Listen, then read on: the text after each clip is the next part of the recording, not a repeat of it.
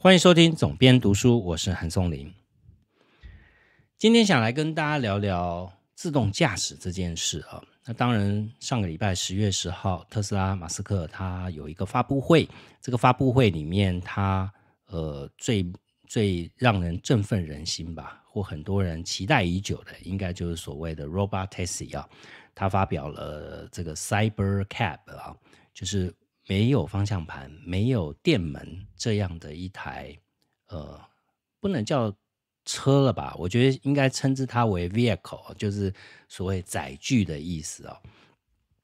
那出了这样的一台车，呃，现场看起来是非常的热闹啊。这台车与会者可以搭上这台车，呃，想象。说你今天就搭这台车，计程车，它载你到你要到的地方。然后当然呢，同场还有嘉印一台 van 啊，然后是一个中型巴士的样貌。那另外还有所谓的机器人哦。好，这些我觉得我看起来哦，都像是电影的场景啊。其实严格来讲，很多传统车厂也都在做这件事，就是每年的车展都会做一些概念车的发表。但我觉得这一次的发表会看起来就是一个概念车的发布会了，跟一般传统车厂的概念车没有什么两样。为什么我想特别聊一聊自动驾驶？因为特斯拉之所以在全世界的范围，包含它的车卖得很好，包含它的股价那么的高，他个人享有极高的声誉跟知名度，其实都是源自于。自动驾驶这个梦想啊，你试想，假设特斯拉不能，不是他要做一个自动驾驶，能够做到无人化驾驶这样的，或者是把它归类为一种 AI 的表现呢？何以他的公司会膨胀的如此之大？何以他的股价会如此之高？何以他会如此洞见观瞻呢？所以。能不能做到自动驾驶，其实是特斯拉的重中之重。假设它今天没有办法做到真正的 FSD，所谓的自动驾驶，真正的自动驾驶，因为在自动驾驶的阶段，其实从 Level One 到 Level Five，现在我们绝大部分的传统或者是即便特斯拉，都是只能在 Level Two 上面去挣扎。现在所有的各车厂所谓的车道辅助系统，呃，简称 ACC，或者是特斯拉自己的系统，简称 FSD，其实都只在所谓的 Level Two。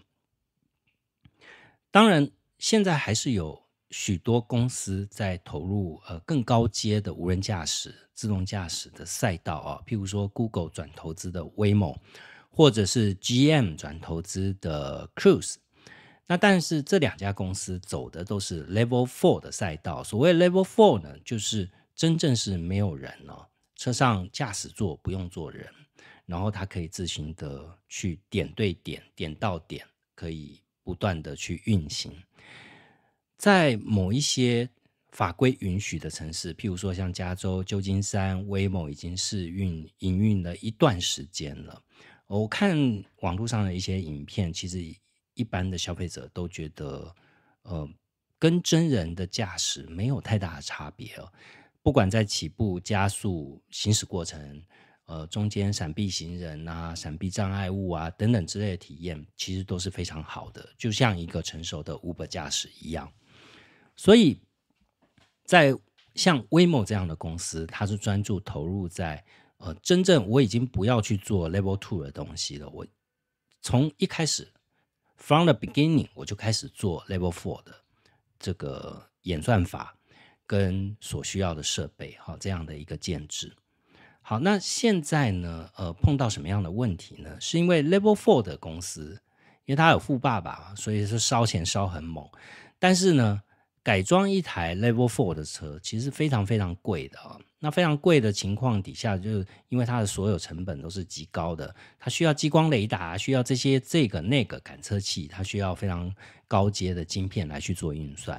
所以车子本体的价格是一回事，但是搭载在上面的这些呃额外加装的配备又是另外一回事。这就造成说，您每行驶一英里。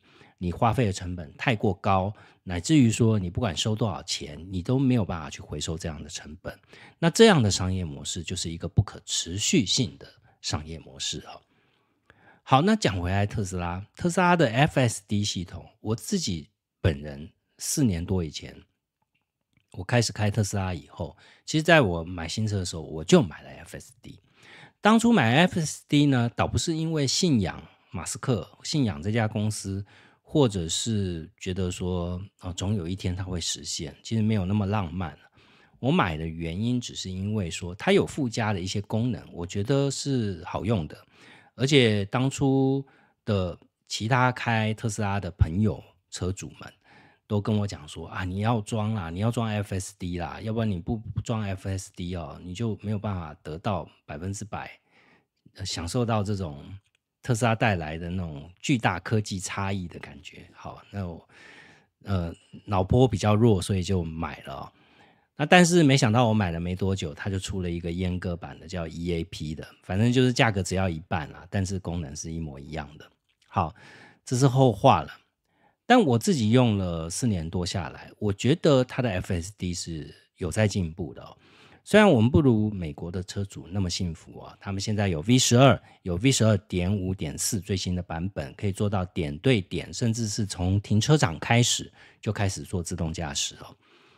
呃，我看过蛮多的影片，大部分这个整个过程里面，也许只需要一次，或者是你可以都不介入，只要你胆子够大。那当然，它不是完全不会出错，它有时候也会出错啊。不过起码做到让你惊艳了，因为它在呃 FSD V 十二这个版本的确是跟以前进步的不止一点半点。但你说它脱离了 L two 的范畴了没有？基本上还是没有啊。为什么？因为就那一点半点，我们都知道说从九十九分要进步到一百分是最困难的，零到九十九可能相对容易很多。就偏偏是那一分哈，那因为你是一台车，你是要自动驾驶，你是要承担发生意外事故的风险，所以连那一点点的可能性都不可以有啊，这才是一个完整的自动驾驶啊。这是为什么现在 L two 跟 L four 我们看到 Level two 跟 Level four 最大的差异所在。Level two 意思是。出了任何的事故，问题是算你车主的。谁拥有这台汽车，谁要负责任。谁是这台汽车的驾驶？即便有自动驾驶技术在辅助你，你仍是那个最后被救责的人。但在 L4 是那一家公司要负担起最后的责任。今天假设你搭乘了一台 w a m o 你在车上发生了事故。被判定是 Waymo 导致你死亡、受伤或导致你的损失，你可以跟 Google 求偿，你可以跟 Waymo 求偿哦。他是最终的负责人。所以现在不管马斯克牛皮吹的再大，他做不到这件事，他就是不可能做到纯自动驾驶啊。好，这边顺便聊一下，说为什么呃特斯拉这一套系统在整个呃，自动驾驶领域看起来有那么一点叛经离道啊，呃，因为他的初衷，他就认为说，人是靠眼睛来去做开车这个动作，机器也应该可以靠镜头来做到这件事啊，所以他采取了一个叫纯视觉方案。那纯视觉方案呢，在 V 十二之前，其实都是一个呃跌跌撞撞的状态啊。不过呢，你要知道，我今天要做自动驾驶，我下了一个指令，譬如说，假设我要让它呃看到行人就要停，所以我必须要下一个指令。当你看到一个呃斑马线的塞它的交通号志，你就要开始停下来。所以在早期呢，自动驾驶是靠城市码来去做管控的，但是到了点对点。呃，纯视觉方案的时候，它的状况就有点像 ChatGPT 啊，就是说，当它出现什么事，它是透过不断的学习，透过大数据库，它不再靠说我的指令里面有，当我看到这件事的时候，我要做出什么反应，而是我根据大部分的优良驾驶的车主的数据库。我发现 A 在做碰到这件事的时候，他做出什么反应？B 也做出这样的反应。所以，我当我碰到这件事的时候，我要做出这样的反应。所以，它是一个在学习的过程。这个其实学习的过程不是你去下指令让他去学习，而是他自我学习的一个过程哦。ChatGPT 的学习过程也是一模一样啊。所以在 FAFD 的演进过程里面，在 V 十二得到。呃，一个快速的增长，是它不再依靠了单一的指令而去做执行这样的动作，而是它可以不断的推演。那当然这是很大的进展，不过它还是有那那种就是 K K 的地方哈。我在我看过的影片，还是有那么 K K 的地方。那我自己在使用台湾这种阉阉割版，我都认为它有进步，但是还是有那么 K K 的地方。譬如说呢。我举一个小小例子好了，你可能假设你不常用，你可能也不会有这样的感觉。就是我们开在封闭道路，台湾只能开在封闭道路，特别是高速公路或高架桥，或者是快速道路。好，我们台湾的用车环境呢，通常是呃有一些高速公路是随时都保持着车辆非常多的状态。那在这种状态底下呢，在 FSD 它的指令，它会不断的。就是把你移到中间的车道。我们有一个美，如果你在美国开过车，美国其实是开车文化里面是很讨厌那种占住内侧车道的人。他们有一个专有名词叫 left lane dick 啊，左侧车道的 dick。那 left lane dick 大家就会骂。假设你一直站在那边，甚至有人会把你喇叭哦。呃，所以它的 FSD 的运作就是。你一旦你开到他帮你超车完成了以后，他就会马上把你插回到呃中间的外侧的车道。好，这个是很好的事情。但是台湾的用车环境却不是这样，因为台湾的特别是在快速道路上面，你经常会有非常密集的匝道，那一个接一个匝道可能都塞满了一些车。但是你假设你不是要在最近这几个匝道下车，你是要在很远的目的地才会下匝道的话，那通常驾驶人都会开在内侧车道。但这时候，假设你是启动 FSD 的状况，它会一直要把你插回来、插回来、插回来。对于驾驶者来讲，其实非常非常非常困扰的。这种时候，我都会把自动驾驶功能把它关掉，让它维持车道就好了。就是我固定在内侧车道。行驶哈，那这只是 FSD 不没有符合当地国情的一种状况啊，其实有非常多种状况。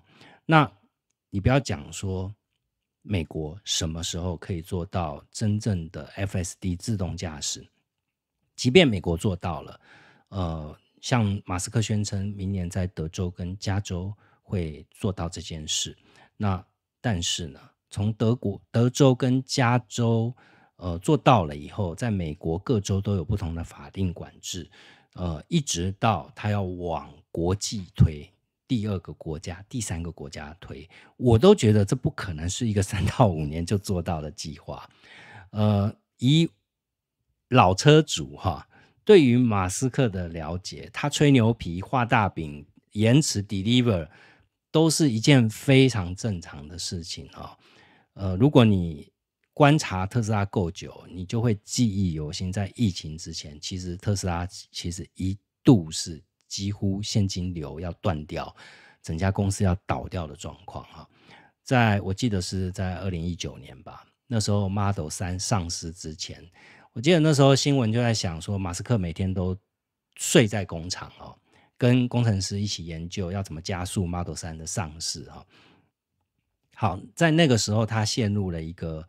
呃，无止境的生产地狱嘛，用他自己的话来说，呃，他说这个难度比他想象中要高出很多，因为他用造车是用所谓的一体铸造，他没有那么多的零件啊，尽量能够 combine 在一起就 combine 在一起啊，用压铸式的方法去生产汽车。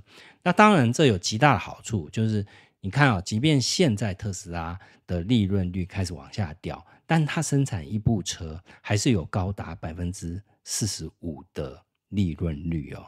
你要知道，汽车业这也是虽然比毛三到四好一点，那了不起可能也是毛五到六而已哦。但特斯拉可以做到四十五 percent 哦，基本上是比其他传统车厂要高出数以倍计啊。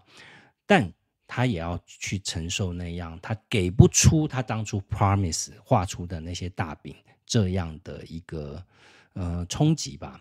基本上那是是非常危险了，一不小心可能资金就断裂了。那幸亏他撑过了，撑过 Model 三上市以后得到一片大好评，再加上它的车价够便宜，所以它马上很快的攻占攻城略地，呃，接着也反映在股价上面了。好，我讲这个陈年旧事啊，但如果你是现在才开始关注特斯拉的投资人，你可能已经不不记得这个过程了吧？你可能只在。你可能只会被这一次发表会的这种美好的场景给感动到哦。事实上，你可能忘记掉，它曾经也是一家资金链会断掉的公司哦。好，那我觉得这一次的发表会啊，我没有那么乐观，我对于 FSD 也没那么乐观。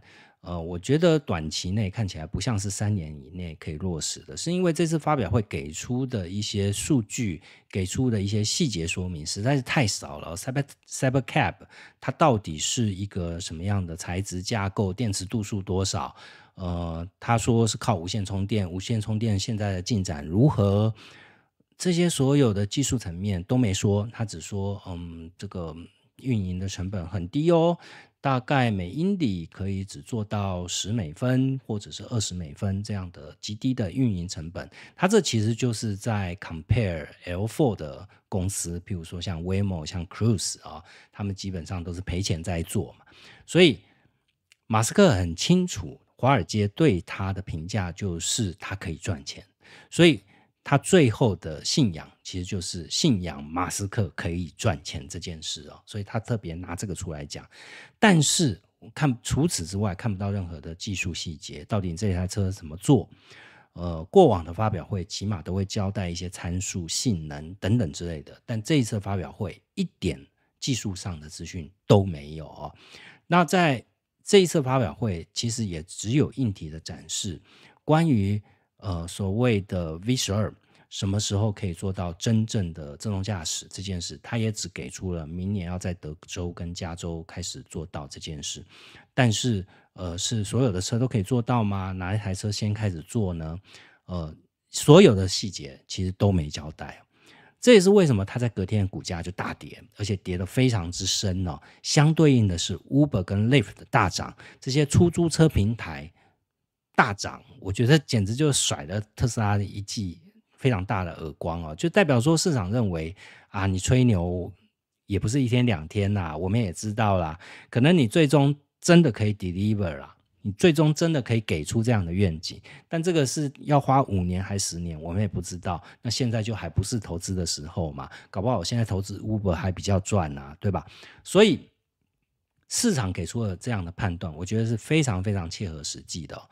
当然，我在这几天的影片啊、新闻啊、一些社群上面讨论，我也有看到。当然，还是有非常多始终的特斯拉粉丝啦。我自己虽然是车主，我自己也使用过很久，但我不是马斯克粉丝，我也不是特斯拉的粉丝。事实上，我对于特斯拉的造车工艺这件事是极其极其不满吧，应该是这样讲啊，就是它所有美国车该有的缺点，它都有，甚至更夸张。但是，因为它科技这一块实在做的太好，它有许多软体层面的东西做得非常的方便，所以让我离不开它哦。这是我必须要由衷说的。我现今我离不开它，因为我现在回头再去买一台传统车厂的车，我觉得我会不适应哦。所以，呃，但是如果你是不是从一个投资的角度，假设你现在要买一张特斯拉的股票，它现在大概。两百块上下吧，你会觉得那是回到了过往，呃，二零二零年、二零一九年的股价。但是，但是哈，你要如果老的投资人应该就还记得哈，如果你投资特斯拉时间够久，你就还记得。基本上，特斯拉经过这几年已经是分拆、分拆再分拆了，所以它其实股本膨胀了非常大。当年的一百块，现金可能是五百块、六百块啊。所以你不能这样去看股价啊！你你现在的两百块可能是二零二零年或二零一九年的的五十块、三十块哦，你必须要这样看。所以它现在的价值其实远不如当初的估值啊，那估值是不一样。所以我觉得，如果你是有兴趣对于特斯拉，或你纯粹是你想要知道自动驾驶，我觉得在第一个在短期内。呃，不太容易，不太容易做到这件事。那我基本上我们在台湾的车主早就心死了，就是当做这个丢到水里面哈，就没有再计较说你到底什么时候有可能在台湾 deliver。我们都觉得在台湾 deliver 是一个机会非常渺茫的事情，在这一台车的寿命之内是非常渺茫的事情啊。那特斯拉到底是不是还是一个可以关注、可以？值得投资，或者我们还是可以期待它的一个标的吗？好，我今天必须要讲，就是哪一天特斯拉开始成立之前，有曾经有传言说他要成立他的保险公司，这是第一个，他把电车的保险他自己拉回来做，我觉得这是一个呃很好的策略，但 so far 只听到消息，还没有听到实际的动作哦。他会不会把保险拉回来自己做？因为这涉及到说，大家知道现在 FSD 还是 Level Two，Level Two 的意思是你所有的责任是你车主在扛，那车主要保险，那保险在美国这几年涨得非常的多，汽车保险的价格涨得涨得非常非常的高哦。那台湾电车的保险的费用也是非常的高，所以如果特斯拉开始去想办法去降低保险的门槛，降低保险的成本，对于电车的持有者来讲，我觉得是一个呃根结的一个解决之道。那他什么时候开始做这件事？而这件事，我觉得下一步也牵涉到，当你自动驾驶的时候，你责任该怎么分分分担，怎么界定的问题啊？呃，我觉得 Level 到 Level Four 的时候，你不可能再逃避责任了。你 Level Four。特斯拉的呃 Cyber Cap，如果你搭上了它的 Robot Taxi，假设出了事，这个责任是谁负？难道是坐车的这个人负吗？哦，我不晓得大家在看发表会的时候有没有想到这个问题啊？呃，你今天坐坐的那台车，假设出事，是你自己要自负吗？你的医疗费谁付？哦，当然你会跟特斯拉求偿，对吧？所以他做好这样的准备了没有？他是不是真的可以宣称说，呃，我的自动驾驶已经成熟到我可以负担起这个责任？我觉得这才是最最重要的市场观察指标啊！今天特斯拉的所有估值，所有的本呃，所有的超额估值啊，传统的车厂不可能有这么高的股价，它今天就建立在一个本梦比上面。这个梦是什么呢？我今天坐的不是车，我告诉你，我坐的不是车。你不要看把我看作是一家汽车公司，你要把我看作是一家软体公司、一家科技公司、一家平台公司。你要用这种方式来估价我的价值。好，马斯克做到了。这几年来，华尔街都给他这样的定价，但那是你先前画出来的饼。到现在，你这家公司，我觉得唯一的价值不在于你生产越来越多的汽车，不在于你是不是能够继续生产更平价的电动车，这都不是特斯拉的核心价值。它只有一个核心价值，就是它的 FSD，它的自动驾驶系统什么时候可以真正做到自动驾驶这四个字？简单来讲，就是你什么时候可以脱离 Level Two。到 Level Three 到 Level Four，最终你起码要达到 Level Four 的程度，呃，不要说 Level Five，最终你可以达到 Level Four 的程度，你可以真的扛起安全的责任，那你这家公司就拥有一家类似像 Google、类似像 Meta，你是一家软体公司，你是靠这个来赚钱的，而不是靠卖一辆一辆车来赚钱的。所以我觉得这条路还很远啊。so far 看起来我没有看到很明确的迹象，说这可能可能可以在三年五内年呃三年到五年之内可以落实。我们虽然对科技保持的希望，对于未来也绝对是乐观的，但没有道理做到无条件的乐观了。哦，很多人可能被一个故事、被一个场景、被一个激动人心的讲话就被挑起来了。挑起来没有关系，感动或者是鸡汤，我觉得一时间都没有关系。但叫你真金白银的去投资一家公司，会会为一个人或为一家企业付出信仰，我觉得这就要呃考量再三了。好，今天跟大家分享一下这个自动驾驶，我对自动驾驶的一些看法啊。我觉得大家其实看一件事就好，就是说什么时候可以到 Level Four 啊？什么叫 Level Four？为什么 Level Four 这么难？那网络上有大量海量的资料，大家如果想要钻研，可以有大量的资料让你去看。那如果你只想了解个大概，你刚刚听下来，你应该也大概有个 picture 了。希望今天的节目对你有帮助，也欢迎在 Apple Podcast 上帮我留下五星评价。有任何问题都欢迎透过粉丝专业来跟我联系。我们下期节目见。